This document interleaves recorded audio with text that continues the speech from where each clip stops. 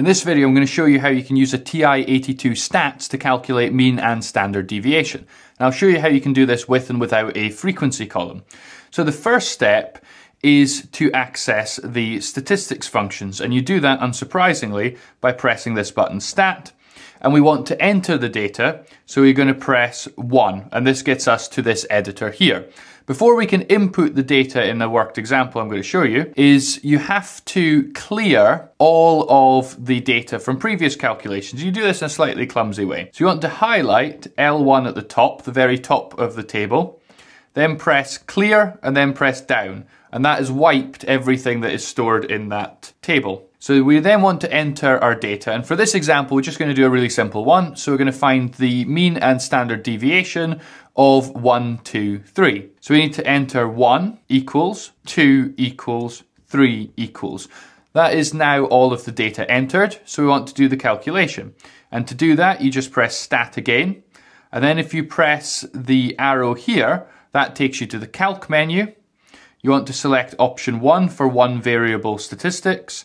And then if you simply press enter, it gives you all of your standard one variable statistics. So you can see here is your sample standard deviation with SX.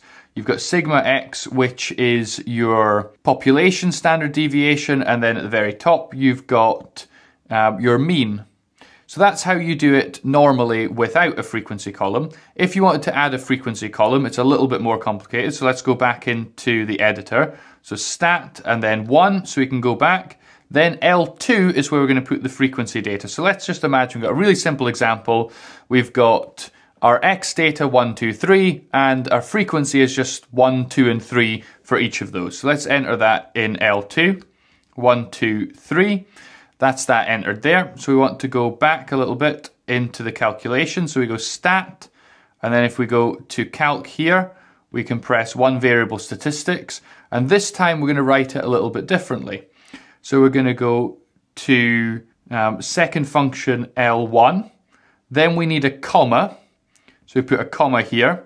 Then second function L2. So we're entering it like L1, comma L2 and then you press enter and it gives you the one variable statistics. But this time we have our six data points that is taken into account the frequency column that we've now inputted.